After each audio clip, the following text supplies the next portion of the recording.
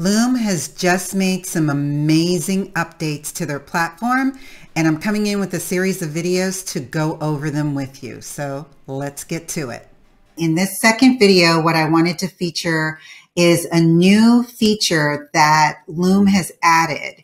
And I think to me, in my opinion, in my humble opinion, I think this now has taken Loom to the next level and they're now competing with the big boys. And by big boys, I mean platforms like Wistia and Vidyard.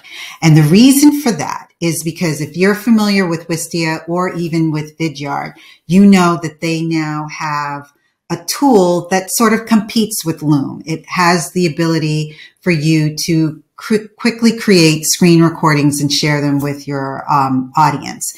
And Vidyard in particular has one where it's embedded into Gmail just like Loom does.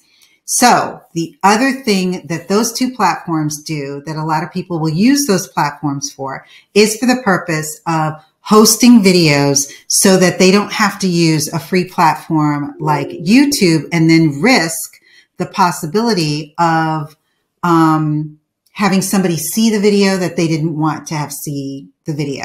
So now with Loom, if you go here to new video, you'll see that if you click here, you're going to be able to record a video like I'm recording now, but now you can actually upload a video. So if you click here, it then tells you you can drag or drop your videos, or you can click on the browse and then find it on your computer. Now they support a wide variety of files. They can do M sorry, WMV, AVI, uh, WebM, MP4, MOV files that as long as they're less than four gigs, which four gigs, gigs is massive, um, then you're good to go. So all you need to do is click here and then you can just click on wherever the video is and then you can upload it. So actually let me walk you through. I've already done a sample video, but I'm going to do this one just so that you can see. This is going to take a, a while to process.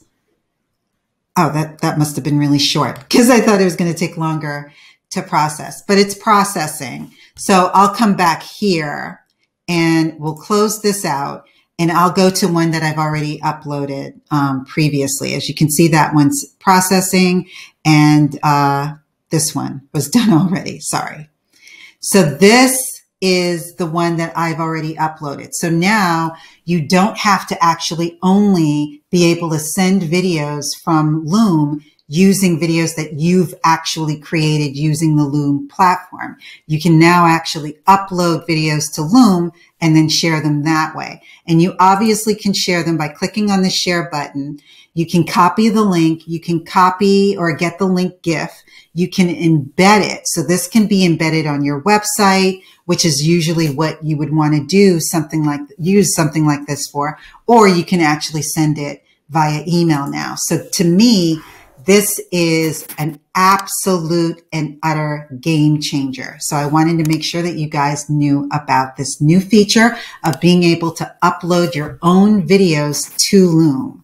All right. So I'll see you in the next video. Take care. Bye.